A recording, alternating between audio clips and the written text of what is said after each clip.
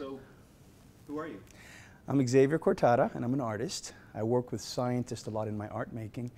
And I do that, and I work with scientists to um, help do a handful of things. One, I like the idea of having our society be more uh, literate from a scientific point of view, right? For them to understand our worldview uh, can and should be shaped by science. Because in every way, that's what's been moving humanity forward for a very, very long time. And sadly, uh, today, especially in this country I love so much, so many Americans dismiss science. They uh, don't value it. In fact, some are even hostile towards it. And if through my art I can broaden uh, the worldview, the perspectives of American to understand that science is part of what they need to be able to see themselves, their place in this world, and their way of acting and moving forward, then I think uh, as an artist I'm doing my job. So a lot of the science work I do, I do with scientists in a whole variety of locations. I've worked with a, with a molecular biologist in having 400 volunteers. Let me do that again. I've worked with a molecular biologist in having 400 museum visitors sequence a DNA strand, which we cloned into E. coli and put in a museum exhibit. I've worked with population geneticists to help us understand how we as a species uh, came to populate this planet in response to the environment.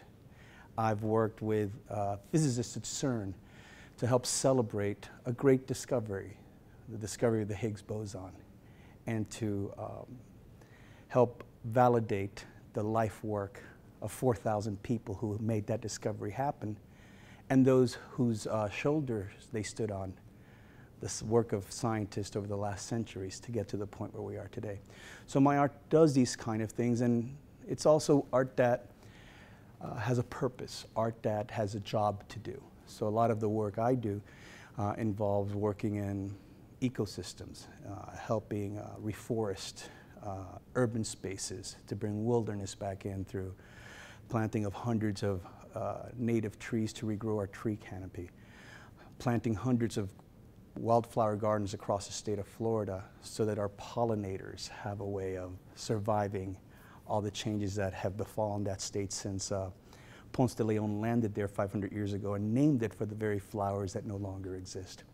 I've planted acres of mangroves in collaboration with a science museum as a way of not just restoring our wetlands, but of having the volunteers who plant those mangroves understand their role in caring for nature at a time when we have so destroyed nature's ability to be wild particularly in our urban areas. So working uh, with scientists, working with practitioners, and community with universities and society, I use art to engage others in serving their civic duty. And by bringing science into the equation, uh, it serves more than a muse, it serves as a way of looking forward. Thanks. So which part of the country do you call home? I'm an artist from Miami. Uh, since age two and a half, I've lived in Miami. Uh, I uh, am particularly interested about Miami because Miami is the city most impacted by sea level rise. So I'm working with LTER scientists right in Florida at the, at the uh, uh, Florida Coastal Everglades LTER, looking at the work they do with diatoms as a way of looking how sea levels have changed over the millennia.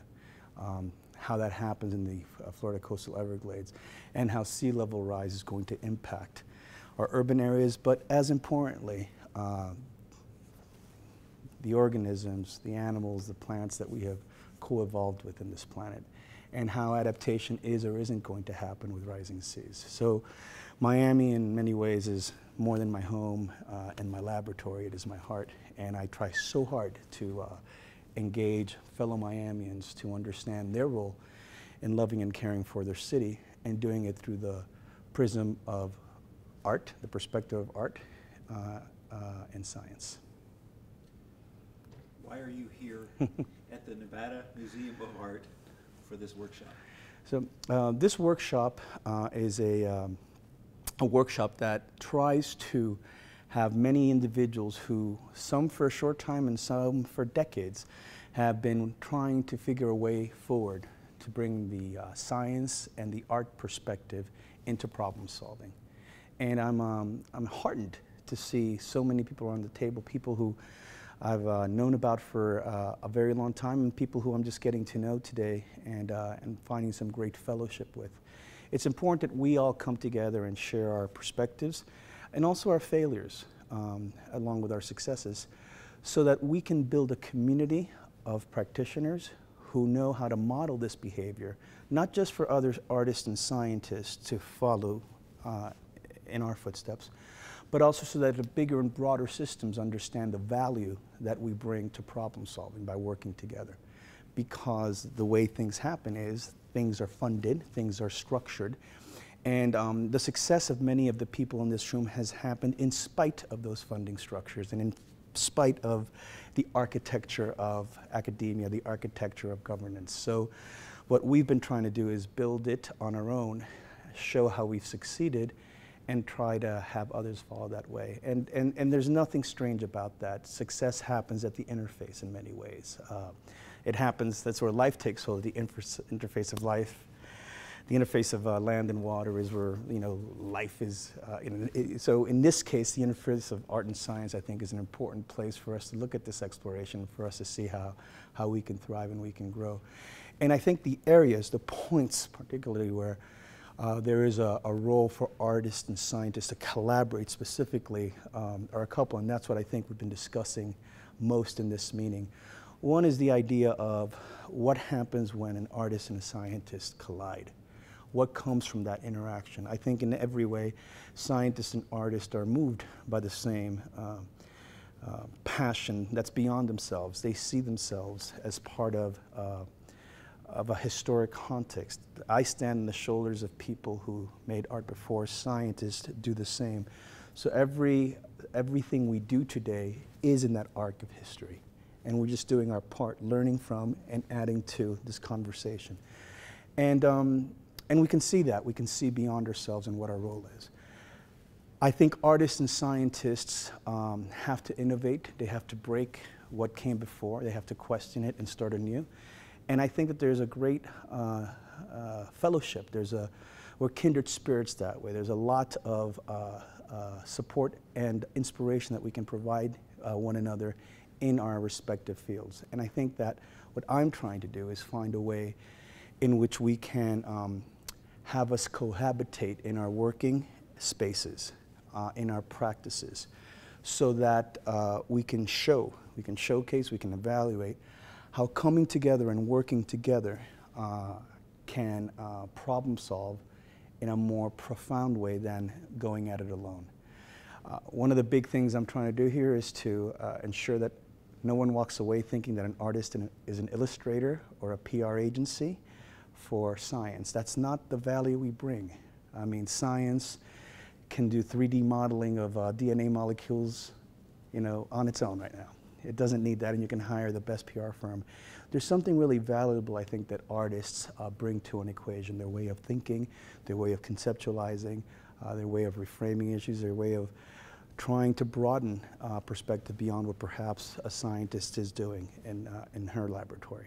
So that's one role that I think that, uh, that artists have uh, in this art science world, and that is how they collide, how they interact, how they work with scientists to do something bigger and better than they could do alone.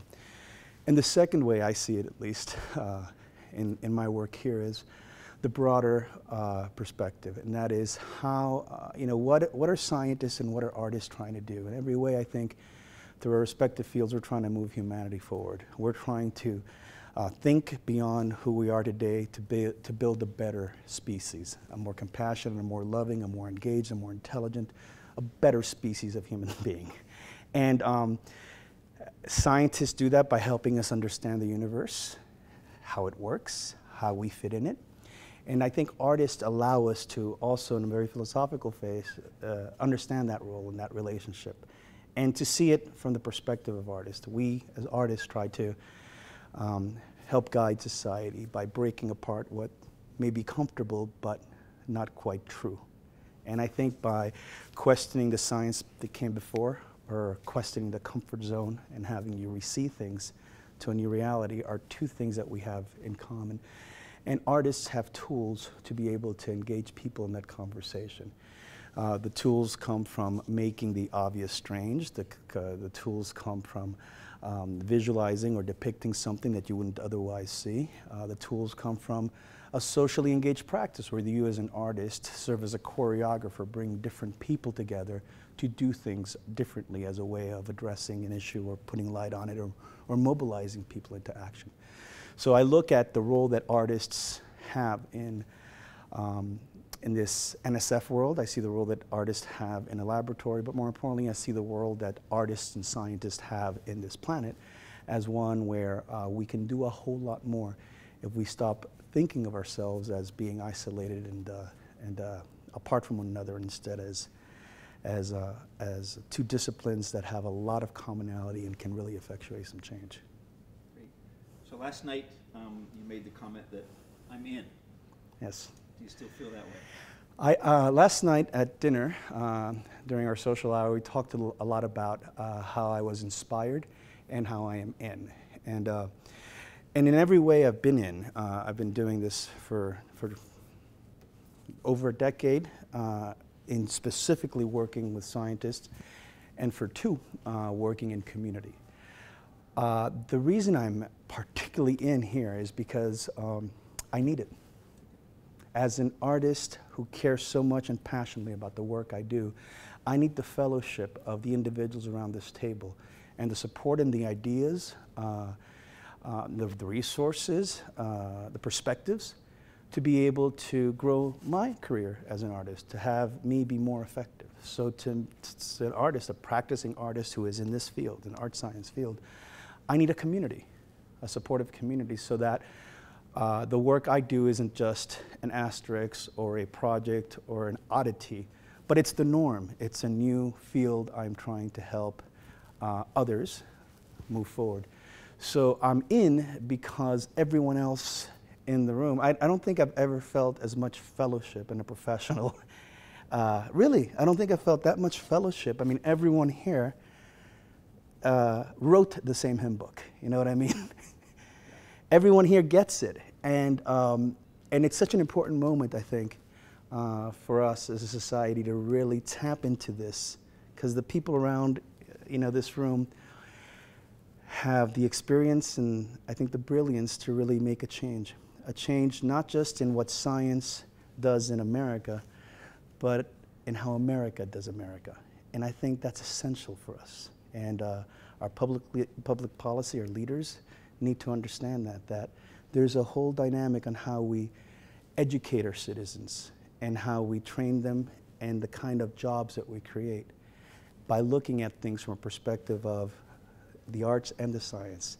And to shatter this notion of this left and right brain that we are really these uh, integral human beings who can think and act uh, in creative ways. So the more we can bring a fusion of these two disciplines, have them work together as equal partners, and move forward, I think the, the stronger a nation we're going to build as we leave this to the next generation of artists and scientists, or as I dubbed, uh, scientists, uh, to create. Right on. Great. Well, thanks. Sure, it's my pleasure. No, you, great, super, fantastic. Yeah. So I'm gonna